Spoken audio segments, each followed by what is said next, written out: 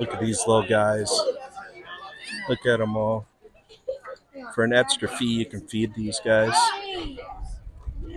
They're so adorable. I love goats. Cute little guys. Cute little guys. Sorry, I try not to get the kids. These little babies.